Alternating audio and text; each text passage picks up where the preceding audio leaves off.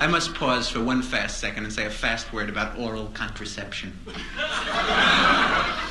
I was involved in an extremely good example of oral contraception two weeks ago.